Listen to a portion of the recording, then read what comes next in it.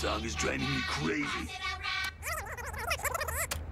B-I-N-G-O and Bingo was his name, oh. Man, I don't know why I bought this stupid tape.